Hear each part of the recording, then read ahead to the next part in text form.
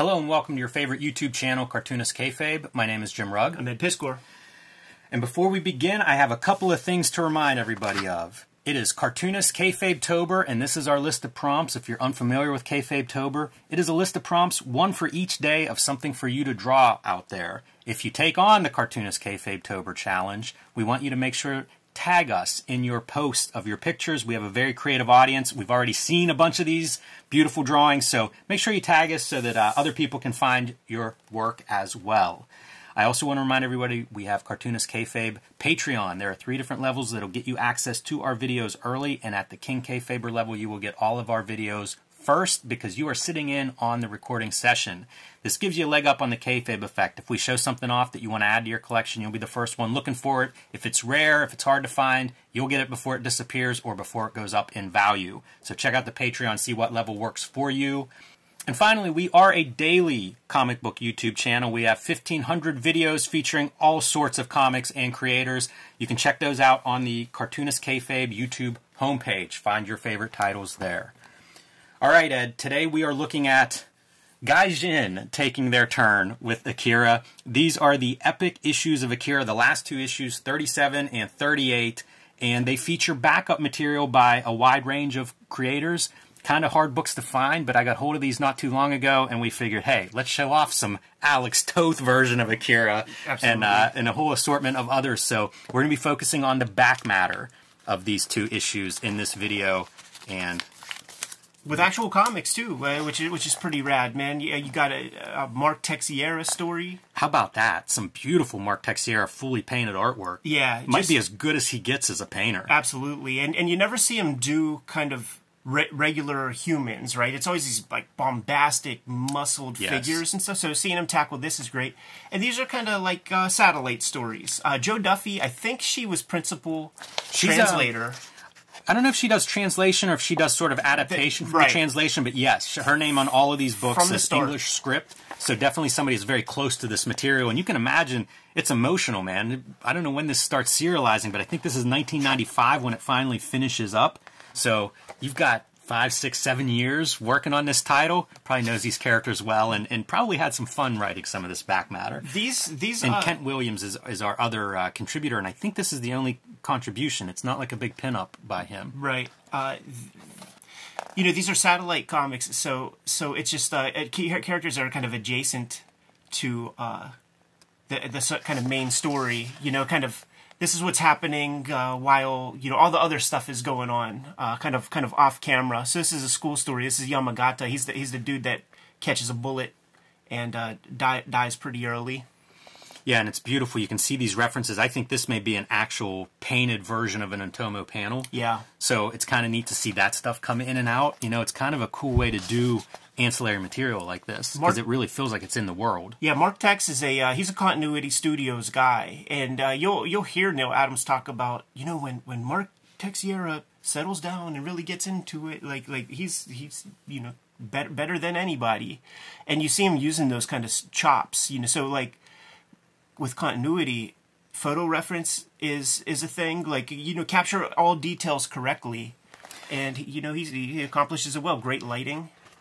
And this is uh, before there's going to be a showdown between all the street gangs. Tetsuo with the clowns, and then everybody else kind of organizing against them. Totally. And uh, this is just set up for that. Yeah, this is the gym teacher that smacks them all in the face, who is based on Antonio Inoki. Oh, I didn't realize that. You can see the big chin right here. Yeah, that's cool. How have, how has that never come up in our conversations, Ed? It has. Oh. maybe I didn't reference. Maybe I didn't catch the reference, but uh, it's very clear in some of these panels. And it's a goofy story. Like I seeing this, I was like, oh, it's Kaneda, but it's not. It's still that gym teacher, and he just kind of is a folly mm-hmm. for for the whole comic. I mean, that's just what it is. You could kind of keep flipping and show off the cool artwork. By the way, this hand, I feel like you could do a zine of just that hand. Like this is a shorthand version, no pun intended, of that hand reaching out. That's yeah. a very comic trope visually. Yeah. And you can see like each time he, he comes, the gym teacher comes in, something goes wrong. Trips something on, foils Trips him. on his whistle. Trips on a, a, a pen. I actually remember doing that as a kid because like uh, there would be little tools and stuff, little uh, uh, pens and pencils on the on the hallway floors and shit, and you you'll you'll go sliding a little bit. I thought you were uh, the one putting the pen down like a trap. Oh, no. You were a victim of the pen on the floor. This is another piece. One of my one of my favorite Otomo drawings in the first volume of Akira, the first uh, Tankobon. It's it's the only time. It's the first time I ever saw somebody draw a recoil, uh, and it's not really captured here, but uh, it's Kaneda, you know, shooting the gun that the guy is still holding, and the gun is up in the air, and then you see the muzzle flash like right about there, and it was just so such a smart observant drawing, and and I stole that motif uh, no less than two or three times in in uh, the Beats comic alone that I did with Harvey Pekar. Whenever William S. Burroughs is playing Mm-hmm. uh, William Tell with his old lady and shoots her in the jibs. Like I made sure to, to, to use that piece. That is a demented Tetsuo. Like that Tetsuo looks so good. Yeah. He is not right. Yeah, very true. There's a subplot of the hor- horse uh, racing that they're betting on, and uh, we get a hot tip on this 150 to 1 odd that ends up paying off, and I think the implication is Tetsuo maybe uh, influencing that race? Something is influencing that race. Uh, yeah, I, I that's lost on me. I thought it's just it's, it's hard luck. Like uh, you know, like of course Yamagata dies. He's he's he's a no no win kind of fella, and then as soon Yeah, as he he, finally wins and he can't uh, I think it's as simple as that. can't enjoy it. Um, Dave Gibbons here with the pin up in the back. It's funny how the credits are set up. You know, like I, I had that front page and it has Kent Williams, Tex, and Jo Duffy, and does not mention Dave Gibbons, which seems like a pretty big oversight. Guy's huge in 1993, but I think this may be early digital work for him. You know, you can really see the digital coloring in the background. It's that era, and you know. uh, and he's talked about learning the digital around the early 90s. So Yeah, feels like that's some some early work from him on the uh, computer side of things. yeah, really no excuse because I think these books took a long time Yes. to uh, c- to come out. They were solicited for literally years, uh, maybe two years before they started to pop out. And I wonder, like, what is that lag? Uh, it, and and then I'm like, is is the lag really just the back matter stuff?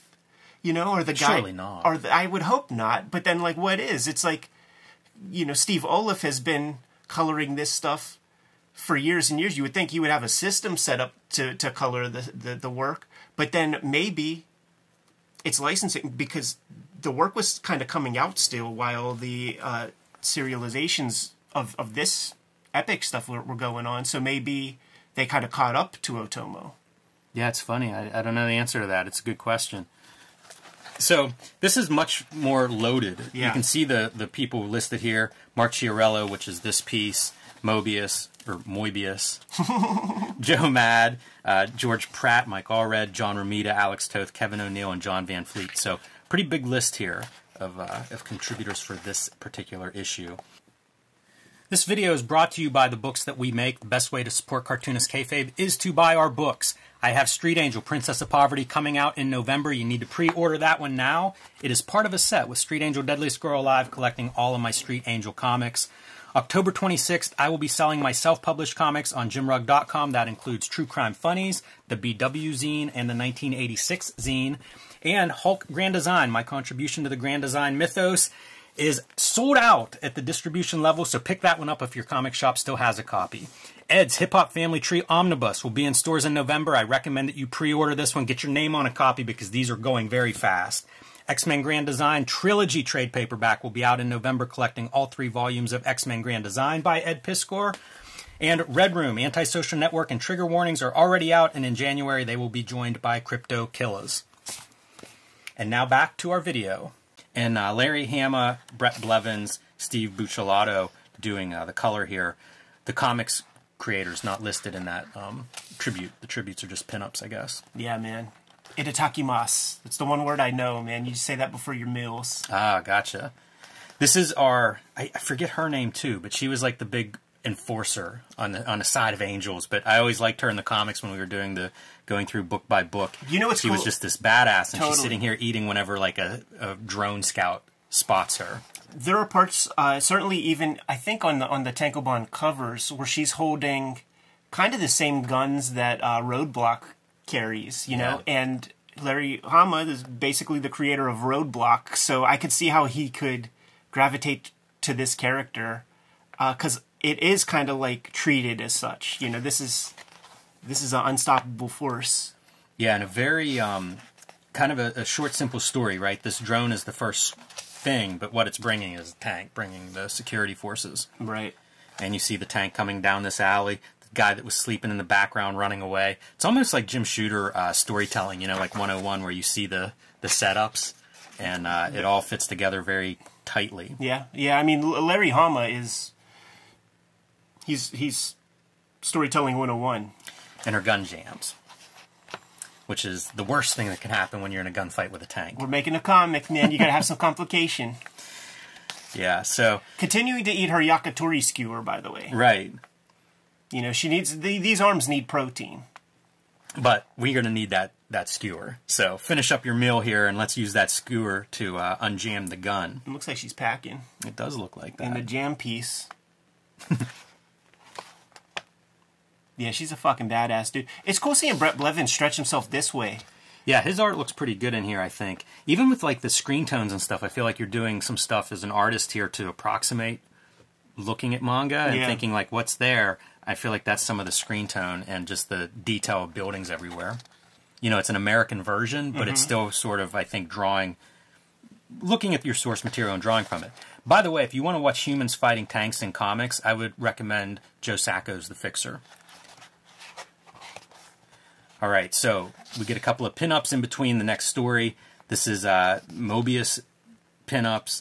These pinups are kind of amazing. Like when you think of the, the range of artists that are contributing, uh, Joe Mad, pretty young Joe Mad, I, I assume here, and he's throwing out some Shirow and some some stuff in the graffiti here, right? Referencing some of his his manga heroes, no doubt. Otomo rules. Yeah. George Pratt, Mike Allred. Pretty good placement for Mike Allred early in his career. You know, He- if this was, was- done in the early early '90s, Yeah, I think he was, you know, doing his Madman stuff uh, definitely. at, at that point, and but but it's still, you know, using the co-kill and stuff. The only other real places I saw him do that would be like his uh, big fat kill pinups, and maybe you know that early like caliber Grafik Musik stuff. So he he gets rid of that pretty quickly, and it's fun to see him colored this way because I feel like the color goes back to that later when he's doing his collaborations with uh, J Bone and doing that kind of cell cell shaded looking stuff where the characters have a black line but the backgrounds are sans black line but this kind of color. yeah, it's a neat piece. 1994, so he might have been hooked up with Legend by that point. Yeah. So definitely not a new new guy, but um, also I don't think he'd done much at Marvel or DC yet. John Romita offering a piece up probably towards the end of his tenure as art director at Marvel, and um, interesting to see like a classic Marvel approach to the to an Akira character. Yeah, man. Kind of cool. And uh, Alex Toth, of course. I think I have this reprinted in black and white in one of those Toth book collections somewhere, but. Again, what a what a strange get. Yeah, uh, you know, probably speaks to Chiarello uh, ma- making that happen. I, I would bet you. Makes me wonder too. Was he given like a couple of these books, and if so, like what on earth did he make of this stuff? Totally. This is a chilling piece. Uh, It's great. I, I, I think I think it would work better in pure black and white. Uh, it- you know, it, it would make it feel brighter. The the light and the and the sort of white heat of everything. It didn't need the color, but uh, it's a it's a chilling, chilling piece because it's so obviously a child. Isn't that fascinating? Like his his ability, like it's so obviously a child. Probably the size of the head helps Right. And uh, you know this is beyond that episode of Twilight Zone where the kid turns his parents into a jack in a box or whatever. It's like this kid like can destroy the whole world. Yeah. Any chance to uh, to see some Toth, I'm always going to be happy with, and it's cool to see it in this context. You know, especially seeing like other people interpret Akira and what they come up with. Um, Kevin O'Neill leaning into the uh, the monstrous side of this, maybe the kaiju side of Akira. Makes sense, right? Totally.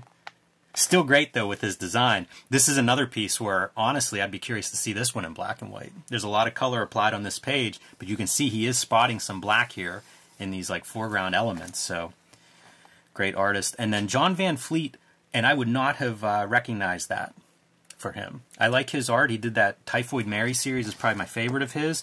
This is a little bit out there. The color palette's kind of in line with what I see with him. He does a lot of those browns and, and reds. Um, but otherwise, just photo collage. Yeah. All right, we've got one more comics story here. Uh, Warren Ellis, your writer, Terry Shoemaker, art, and Brian Buccellato again on the uh, color. This is this is wild Terry Shoemaker art because I, from what I remember of Shoemaker, from the stuff that I've seen in the past, it was it was uh, very kind of esoteric style. It was it was very wild style, and this is firmly rooted in the Wildstorm kind of Jim Lee school of things, and uh, the writing that Ellis does. There's some clever stuff early, but then it becomes so on the nose that it makes me think that the editors had a hand in that to be honest because it's so on the nose like the, this the whole motif of candy and one kid ate the most candy like that's reasonably clever as far as you know mainstream comics goes because we know what akira is and we know that the the importance of the pill and all that but then they're just going to spell that out later and that's whack Right. that's corny as fuck. Uh, but we got once again, man. He's like child espers is the scariest thing ever, man. There is a movie. Oh my goodness, maybe it's called The Innocents. It, it's a it's like a um, foreign movie, Scandinavian film, pr- pretty sure, but it's basically Domu. It's Domu, almost part and parcel, like the whole thing, with the exception of replace the old man with another kid Yeah. which makes a lot of sense, right? But it has a lot of set pieces and stuff, like exactly from Domu. It ends in the in the same way, and it's so effective. It's a it's a fairly newish movie within the past five years. Man, I want to see it now. Oh, it's great. It sounds awesome. Yeah, I feel like Shoemaker does pretty good work here. yeah. It's just so crazy. Like whenever the mandate comes that the the money making way to draw is the Jim Lee way, to see these guys kind of like really sell out their own styles, uh, it's it's it's a sad thing to me. It is sad. It becomes like this. Um, wow, it's like the last Marvel House style, Yeah. and it's it's weird. You know, it's kind of a novelty. Like I enjoy it because it's a novelty, but as a thing of like, this is what our company is now. Yeah, because because Not so much. Yeah, because the artists they become caricatures of themselves, and, and when like Herb Trimpe, who's done something for so long, but but you know he was working in a house style. I I talked to him three weeks before he passed, maybe, and I told him all of my favorite things of uh, that he's done, and I mentioned the Rolling Stone cover. He's like, that's that's my style. Like that's really how I draw, and and I want to get back to to drawing the way that I draw. Uh, he's a guy who had to use that that style. Alex Saviuk has to fucking draw far apart cross crosshatch and shit.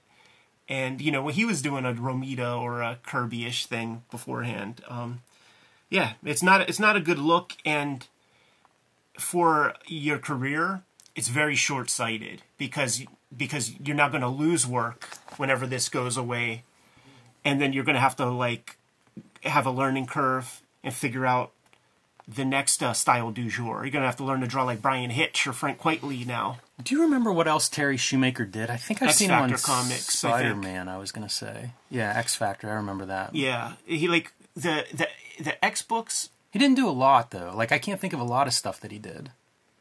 Yeah, You know, he might have only been there for a couple of years, and I mean, at 1995, like probably a lot of people are getting le- leaving the business. I sometimes confuse him too with uh, Bogdanove because i certainly in the style approach, but um, there would be like one odd Superman book or one odd X book, and it would be Shoemaker or Bogdanove would be, you know, either or the the, the kind of more wild style in in those families of books. Here's your heavy-handed uh, metaphor now of the candy. We see the pills dropping Right. in place of the candy.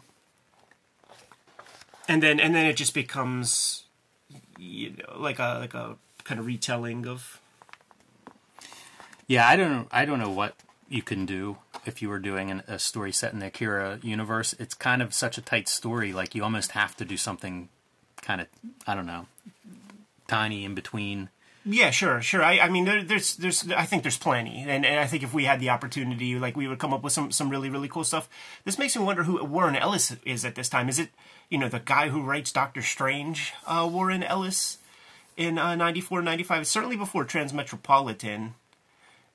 And uh, transmetropolitan is before planetary and Yeah, right. and uh, stormwatch and, and the things that Did really he ever run on Excalibur in the like? Bef- I feel like he did some Excalibur early on, but it may have been before this or maybe concurrent with this.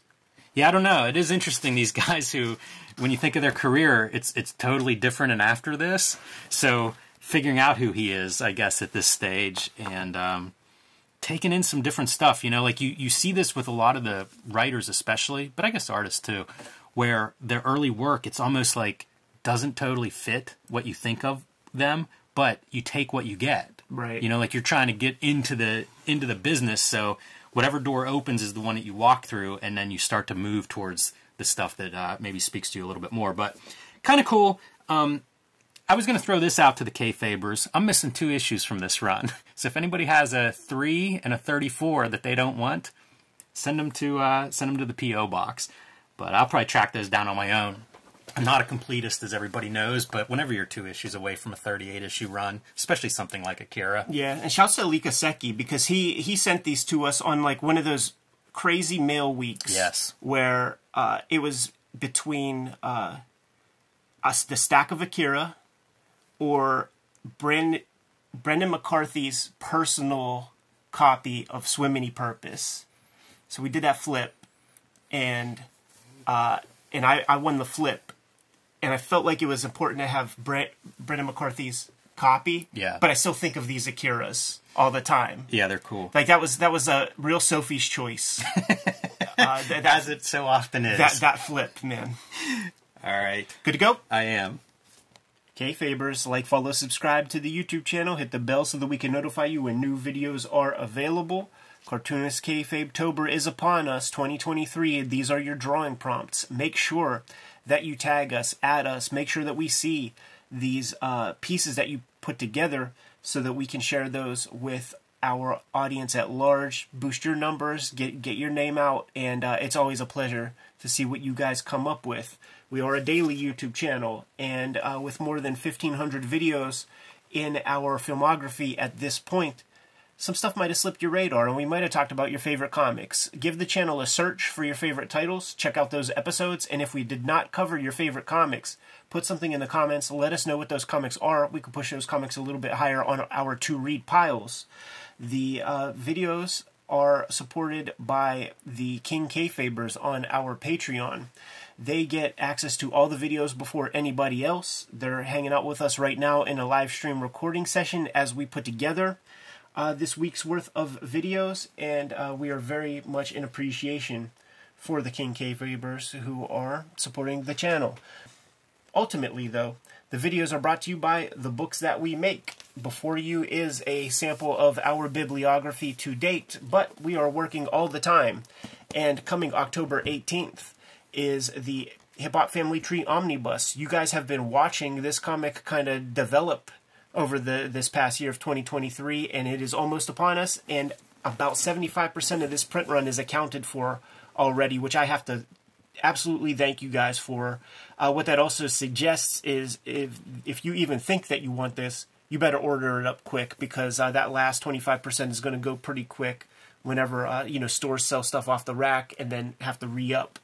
500 plus pages, 150 page of additional material, and uh, best book I ever made. Please scoop that up. Not the only holiday effort to come in 2023. Uh, in November comes the X Men Grand Design Trilogy trade paperback. Uh, it's crazy how uh, this one works because it's probably off to the press right now, mere weeks before its release. So I don't have a comp copy to show off. So it's going to be smaller in scale than what you're you're looking at. But these big volumes, some of them are out of print, and it's going to have all of my X Men Grand Design work in there. Please check that out, man. It's perfect jump on point for any X Men fans or, or uh, you know enterprising X Men fans if you're curious about that title.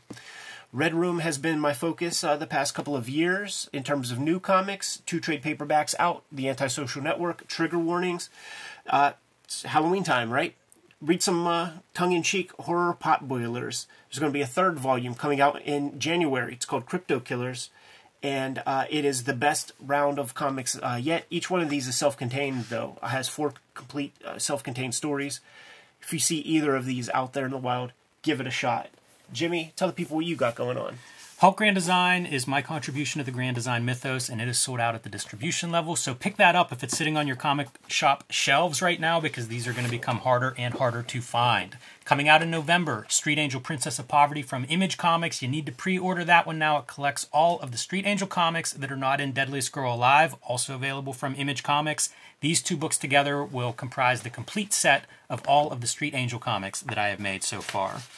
And I have been self publishing lately and will be selling these on jimrugg.com, my website, at the end of October, October 26th. That will include the BW zine, uh, highlighting panels and art and ads and editorials from the uh, black and white explosion comics of the 80s that I love so much. The 1986 zine is all about the year 1986, whenever comics really kind of the direct market and comic shops took over the direction of comics in the uh, in America. And True Crime Funnies. These are nonfiction stories uh, featuring traditional true crime subject matter like a uh, drug cop, but also featuring some wrestling stories uh, from the early 20th century, as well as an Andy Warhol soiree into wrestling one night.